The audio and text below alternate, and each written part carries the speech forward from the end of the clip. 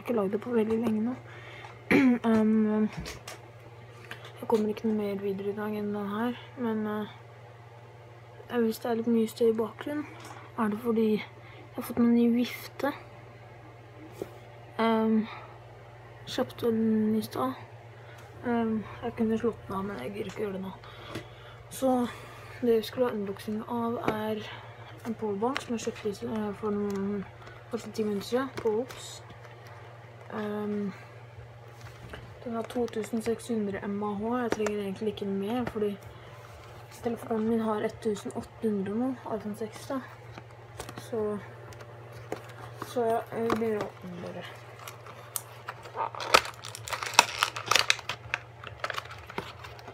Starter den bare.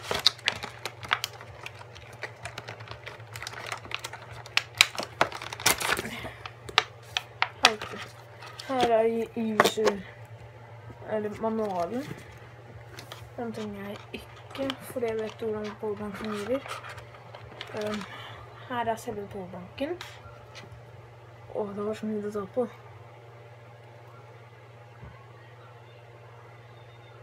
Men det sto at den hadde lys og viste hvor mye strøm den hadde. Her finner jeg ut da. Her er ladekabelen alle sånne påbankladere da merkte til at det var sånn Samsung. Jeg vet ikke hvorfor. Men uh, ok. Kanskje fordi det er bedre. Så uh, er det noe annet drar. Jeg vet ikke hva det er for noe heller. Jeg tror jeg kan lade den. Jeg setter påbanken i laderen sånn. Jeg lader den i påbanken. Sånn. Um, så kan jeg også gjøre noe annet. Nei. Jo, jeg setter den bak her. Vent litt.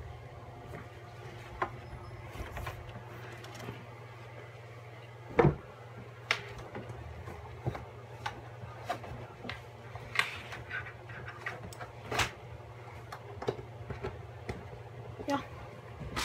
Nå blinker den. Se. Nå blinker den der. Jeg vet ikke helt hvordan det funker. Men jeg tror den lader nå. Imens så kan vi lese litt i manualen. Um, det står Laden Ja. Hæ?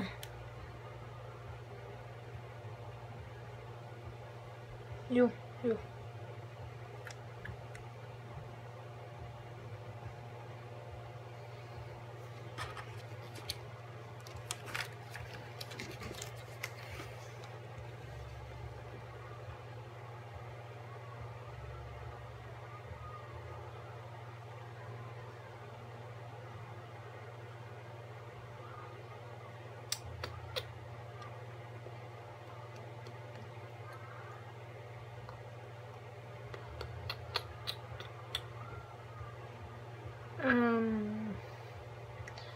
Ikke risten.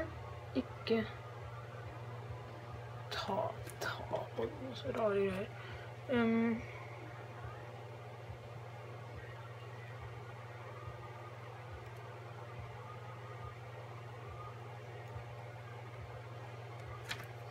um,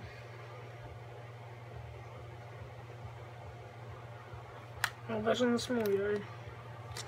Men uh, må jo stå noe annet også, Hvordan ser det ut når den lader.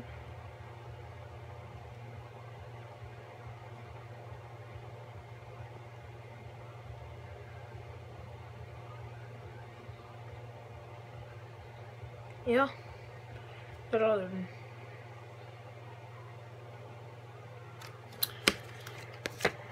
Ja, står det. Her og lader. Står det Denver der, fordi det var Denver Den var litt billig, så jeg kjøpte den. den Nei, ja, dere ser det bare rundt. Så um. Det var ny vifte. Den er faktisk litt kul, fordi Ellers- jeg, er bruker den litt i stedet for å åpne vinduet. Eller vi gjør begge deler. sånn. Så tror det var hele videoen. Det var en veldig liten unboxing, men unboxing er unboxing. Så legg en like, abonner, kommenter. Det er som en helt annen gang. Ha det bra.